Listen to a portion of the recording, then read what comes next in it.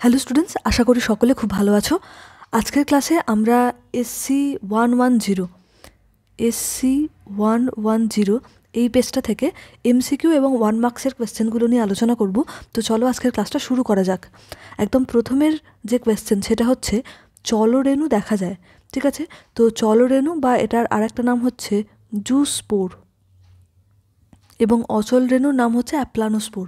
তো জুসপোর বা চলরেণু দেখতে পাওয়া যায়, এখানে যে অপশানগুলো আছে তার মধ্যে হয়ে যাবে যেটা, সেটা হচ্ছে ক্লামাইডোমোনাস, ওকে? পেনিসিলিয়ামে দেখতে পাওয়া যায় কনিডিয়া কনিডিয়া। মিউকরে দেখতে পাওয়া যায় স্পোরাঞ্জিওস্পোর, স্পোরাঞ্জিও, স্পোর। নেক্সট হচ্ছে ইস্ট ইস্ট হচ্ছে বার্ডিং বা করকোদ্গম, একটুখানি লিখে নিও তোমরা ওকে দু নম্বর কোয়েশ্চেন সিফিলিস রোগ সৃষ্টিকারী প্যাথোজেনের নাম, এটা তোমরা জননগত স্বাস্থ্য এই চ্যাপ্টারটাতে পাবে। তো সিফিলিস যেটা, সেটা হচ্ছে ব্যাকটেরিয়া ঘটিত রোগ এবং এটা হচ্ছে ট্রেপোনেমা প্যালিডাম এরটা হয়ে যাবে আনসার নিজেরিয়া গনরি বিয়ের যে অপশানটা আছে, সেটা হচ্ছে গনোরিয়া রোগ সৃষ্টিকারী, এটাও ব্যাকটেরিয়া ঘটিত। নেক্সট যেটা সি এর অপশান আছে ট্রাইকোমোনাস ট্রাইকোমোনাস ভ্যাজাইনালিস ট্রাইকোমোনিয়াসিস রোগ সৃষ্টি করে। এটা হচ্ছে প্রোটোজো আক্রান্ত রোগ, যেটা সেটা। আর ডি আছে যেটা ক্ল্যামাইডিয়া ট্রাইকোম্যাটিস এটা হচ্ছে ক্ল্যামাইডিয়াসিস রোগ সৃষ্টি করে। ওকে তাহলে ট্রেপোনেমা প্যালিডাম এটা সিফিলিস রোগ সৃষ্টি করে এবং এটা হচ্ছে একটা ব্যাকটেরিয়া ঘটিত রোগ। আশা করি বোঝাতে পেরেছি। তিন নাম্বার কর্পাস লিউটিয়াম ক্ষরণ করে। কর্পাস লিউটিয়াম যেটা ক্ষরণ করে, সেটা এখানের মধ্যে আনসার হয়ে যাবে progesterone LH FSH oestrogen progesterone HCG তাহলে এখানে এই প্রোজেস্টেরন যেটা, সেটা হয়ে যাবে আনসার চারের দাগের কোয়েশ্চেন টেস্ট ক্রসের অনুপাত দ্বিসংকর one is two one is two one is two one option C হয়ে যাবে আনসার নিম্নলিখিতগুলি নিম্নলিখিত উৎসেচকগুলির মধ্যে এই যে কর্নবার্গের উৎসেচক বলা হয় ডিএনএ পলিমারেজ ওয়ানকে, ওকে? তার মানে এটা হয়ে গেল পাঁচের দাগের কোয়েশ্চেনের answer option A.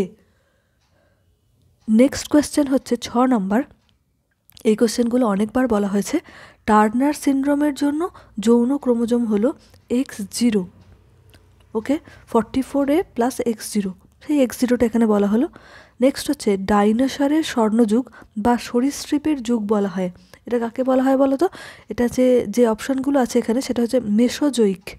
ডাইনোসরের বা সরীসৃপের যুগ, এটাকে, এটা বলা হয় মেসোজৈক যুগকে। আর স্তন্যপায়ের যুগ হচ্ছে সিনোজৈক। এই যে বিয়ের অপশান আছে না, সিনোজৈক? তো এই সিনোজৈক যেটা, সেটা হয়ে যাবে স্তন্যপায়ী। একটু লিখে নিও। নেক্সট তারপরে আটের দাগের কোয়েশ্চেন ডিপ্লিটার পদ্ধতিটি কোন পদ্ধতির সঙ্গে সম্পর্কিত? ডিপ্লিটার পদ্ধতি হচ্ছে পোলট্রি অপশান সি হয়ে যাবে আনসার ন নম্বর কোয়েশ্চেন ম্যাটার্নাল অ্যান্টিবডি কাকে বলা হয়? ম্যাটার্নাল অ্যান্টিবডি এখানে যে অপশানগুলো আছে, তার মধ্যে হয়ে যাবে যেটা, সেটা হচ্ছে আইজিজি আইজিইটা অ্যালার্জি প্রতিরোধে সাহায্য করে এবং আইজিএম যেটা, সেটা হচ্ছে সব থেকে বড় আকারের অ্যান্টিবডি যেটা রক্তে পেন্টামার হিসেবে থাকে। ওকে বেশ নেক্সট কোয়েশ্চেন হচ্ছে দশেরটা। কোনটিকে আণবিক কাঁচি বলা হয়? আণবিক কাঁচি হচ্ছে রেস্ট্রিকশন এন্ডোনিউক্লিয়েজ অপশন সি হয়ে যাবে আনসার ট্যাক পলিমারের যেটা, সেটা পিসিআর পদ্ধতিতে ব্যবহৃত হয়। এই হচ্ছে ব্যাপার। নেক্সট এগারোর দাগের question PBR three twenty two নামকরণে P বলতে বোঝায় প্লাসমিড অবশ্যই অপশান ডি হয়ে যাবে আনসার চোদ্দ দাগের কোয়েশ্চেন মিরামাটার রোগ হয় হচ্ছে পারদ এইচ জি পারদ। এএস আর্সেনিকের জন্য আর্সেনিকোসিস ব্ল্যাকফুট ডিজিজ, মিজরেখা, এগুলো ক্যাডমিয়ামের জন্য এটাই এটাই। আর পিবি, এটা হচ্ছে যে সিসা যেটা সেটা যানবাহনে থেকে পাওয়া যায় সিসা। ওকে ডিসলেক্সিয়া রোগ হয় যেটা। আচ্ছা নেক্সট তেরো নাম্বার কোয়েশ্চেন লিন্ডেম্যানের সূত্র অনুসারে একটা ট্রফিক লেভেল থেকে পরবর্তী ট্রফিক লেভেলে স্থানান্তরিত লিন্ডেম্যান মানেই হচ্ছে এটা টেন পার্সেন্ট চোদ্দ দাগের কোয়েশ্চেন ডাব্লিউডাব্লিউএফ সংস্থার লোগোর সঙ্গে যুক্ত জীব হলো, এটা হয়ে যাবে রেড পান্ডা ওকে আমাদের এমসিকিউগুলো কমপ্লিট হয়ে গেল, এখান থেকে যদি মনে হয় কোনোটা বুঝতে পারছি না, অবশ্যই আমাকে জানিও। নেক্সট দু নম্বরের কোয়েশ্চেনে যে এক নাম্বার কোয়েশ্চেনগুলো আছে সেখানে চলে আসি। সাট্টলির কোষের কাজ হচ্ছে শুক্রাণুকে পুষ্টি যোগানো, আর লিখছি না হ্যাঁ? দু নম্বর কোয়েশ্চেন সহপ্রকটতার একটা উদাহরণ, এটা হচ্ছে মানুষের A B blood group A B blood group. অথবা দিয়ে যেটা আছে সেটা হচ্ছে ওকাজাকি খণ্ডগুলিকে জুড়তে সাহায্য করে। এরকম উৎসেচকের নাম হচ্ছে লাইগেজ। উৎসেচকটার নাম হচ্ছে লাইগেজ। লাইগেজ উৎসেচক জুড়তে সাহায্য করে, এটা হচ্ছে দুয়ের অথবা। লাইগেজ। তিন নাম্বার কোয়েশ্চেন, পানীয় জল পরিশোধনে কোন গ্যাস ব্যবহার করা হয়? এটা হচ্ছে যে ক্লোরিন। এটা হচ্ছে ক্লোরিন। এর সঙ্গে অথবা দিয়ে যেটা আছে বায়োগ্যাসের প্রধান প্রধান উপাদানটির নাম, এটা হচ্ছে সিএইচ ফোর মিথেন এটা হচ্ছে মিথেন আচ্ছা যেটা লিখতে হবে চার নাম্বারে, সেটা হচ্ছে কিস্টোন প্রজাতি। এটা একটুখানি লিখে নিও। কিস্টোন প্রজাতি। কিস্টোন প্রজাতি হচ্ছে যখন কোনো বাস্তুতন্ত্রে, যখন কোনো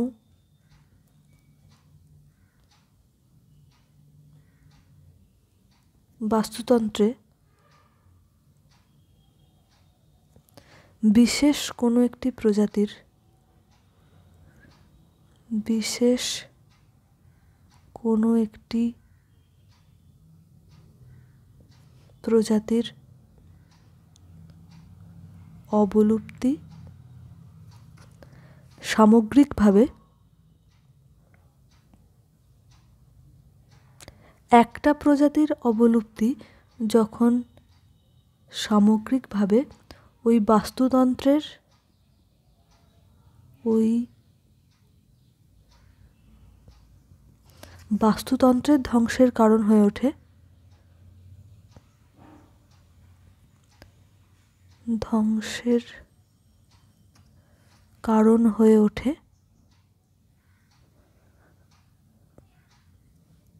তখন তাকে কিস্টোন প্রজাতি বলা হয়।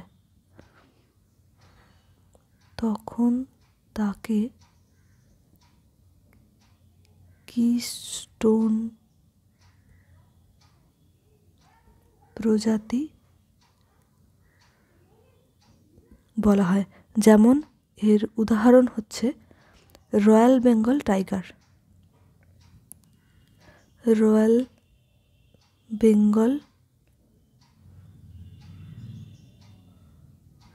tiger সুন্দরবনের কিস্টোন প্রজাতি।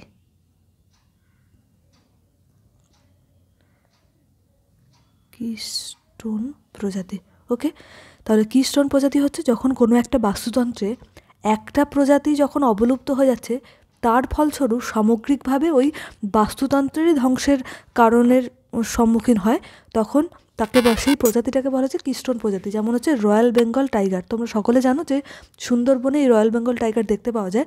তো রয়্যাল বেঙ্গল টাইগারের যদি অবলুপ্তি হয়, তাহলে ওই বাস্তুতন্ত্রেরই ধ্বংসের কারণ হয়ে উঠবে। সেজন্য এই প্রজাতিটাকে বলা হচ্ছে কিস্টোন প্রজাতি, ওকে?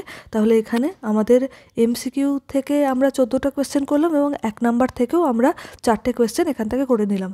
তাহলে SC one one zero SC একশো দশ পেজের এমসিকিউ এবং ওয়ান মার্কস নিয়ে আজকের ক্লাসটাতে আলোচনা করা হলো। যদি ভালো লেগে থাকে তোমাদের বন্ধুদের সঙ্গে একটু চ্যানেলটা শেয়ার করো। দেখা হবে পরের ক্লাসে সকলে খুব ভালো থেকো।